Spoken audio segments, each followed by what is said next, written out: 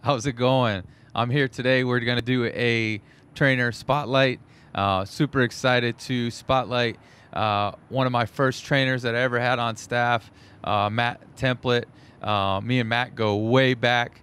Uh, I actually met Matt in the Air Force in 2011. Um, so we've been friends uh, for about 10 years now, and he's been part of Total Dog really since the beginning of Total Dog Vegas me and Matt actually uh, lived in a tent together for six months in Afghanistan uh, in a, a, fun place called FOB Wilson, which is south of Kandahar.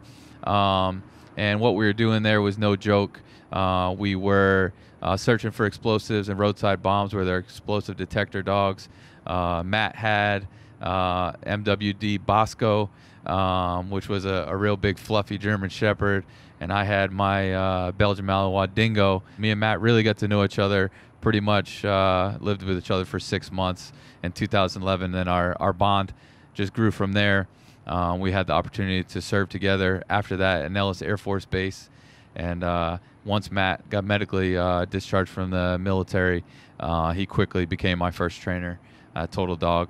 Uh, me and Matt go go way back, especially with the business, not just as friends, but as the business.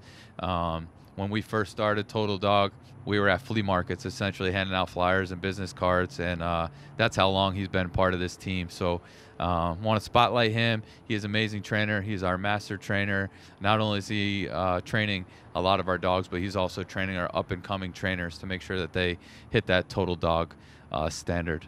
Uh, funny thing about Matt, the, one of the first times I met him, um, he was telling me how his last name is French, which I, I didn't really care uh, too much about. Uh, but just so you guys know, his last name is actually pronounced Temple or Temple, something like that. Uh, but here in the United States, we all call him Matt Templet. So just a little funny joke there. If you see him out and about, maybe call him Matt Temple, Temple. He'll be quickly, uh, he'll probably smile about it. So thanks, Matt, for all your hard work, man. We love you here at Total Dog and uh, train hard.